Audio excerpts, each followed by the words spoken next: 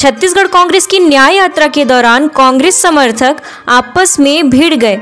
बताया जा रहा है कि पूर्व विधायक शकुंतला साहू की तस्वीर झंडे से ढक दी गई थी, जिसे देखकर उनके समर्थक आपस में भड़क गए। मंच पर लगे पोस्टर को फाड़ दिया गया। भाजपा ने कहा कि कांग्रेस न्याय यात्रा निकालने का ढोंग कर रही है। कार्यकर्ता अपने ही नेताओं के बैनर पोस्टर फाड़ रहे हैं। पाँचवें दिन सारा गाँव से यात्रा शुरू होगी और सड्डू में खत्म होगी। कांग्रेस प्रदेश अध्यक्ष दीपक बैच को मोहन मरकाम, अनीता योगेंद्र शर्मा, छाया वर्मा, चरणदास महंत, ज्योत्सना महंत सहित कांग्रेस के अन्य पदाधिकारियों का साथ मिला।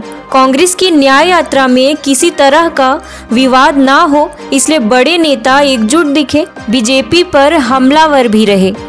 दरअसल न्याय यात्रा के तीसरे दिन पैदल चल रहे पदाधिकारियों और कार्यकर्ताओं के बीच विवाद हो गया।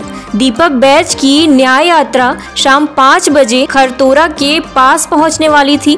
इससे पहले मंच पर फ़ोटो ढकने के विवाद पर विधायक संदीप साहू और पूर्व विधायक शकुंतला साहू के कार्यकर्ता भी भिड़ गए। संदीप साहू के समर्थकों ने स्वागत मंच पर लगे पोस्टर को जिसमें शकुंतला साहू की फ़ोटो लगी थी, उसे कांग्रेस ने झंडे से दबा दिया था। इस बात से नाराज़ होकर शकुंतला साहू के समर्थकों ने, संदीप साहू के समर्थकों से पहले विवाद किया, फिर मंच से पूरा पोस्टर ही उखाड़ कर फेंक दिया। दीपक बैच के पहुँचने से पहले स्थानीय बड़े नेताओं ने विवाद कर रहे कार्यकर्ताओं को समझाइश दी, उसके बाद ही यह मामला शांत हुआ। दीपक बैच के गुजरने के बाद पोस्टर फाड़ने वाले सभी कार्यकर्ता यात्रा से वापस चले गए।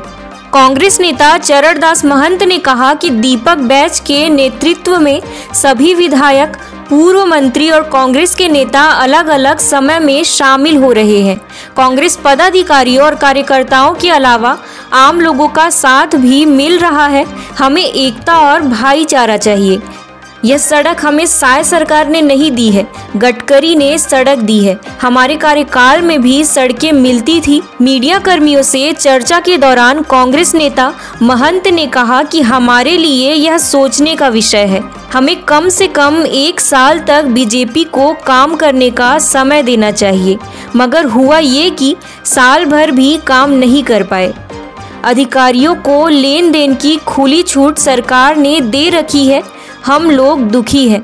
चौथे दिन की न्याय यात्रा में कांग्रेस ने नौ नेताओं को यात्रा मार्ग की ज़िम्मेदारी सौंपी थी। ये ज़िम्मेदारी प्रतिमा चंद्राकर, सीमा वर्मा, दिनेश यदु, कमलकांत शुक्ला, छाया वर्मा, अंबिका सिंह देव अनीता शर्मा, पुरुषोत्तम कंवर और प्रवीण साहू को मिली थी। न्याय यात्रा के चौथे दिन बड़ी संख्या में कार्यकर्ता जुटे। पैदल यात्रा में निकले दीपक बैच का अनीता शर्मा की मौजूदगी में बच्चों ने स्वागत भी किया। कांग्रेस की न्याय यात्रा पाँचवें दिन, यानी एक अक्टूबर को सारा गाँव से शुरू होगी और सड्डू में खत्म होगी।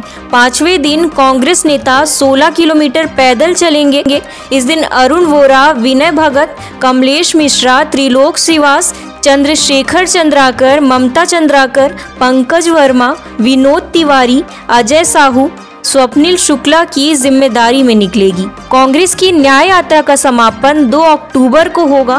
कांग्रेस नेताओं के अनुसार इस यात्रा में सचिन पायलट और उनके साथी भी शामिल होंगे। आखिरी के तीन किलोमीटर वो भी साथ चलेंगे। कांग्रेस नेताओं ने कहा कि भारतीय जनता पार्टी ने जो भाईचारा बिगाड़ा है हम उसके विरोध में उतरे हैं। न्याय यात्रा में शामिल होने पहुँचे कांग्रेस नेताओं ने देवेंद्र यादव को भी बेवजह केस में फंसाने की बात बोली।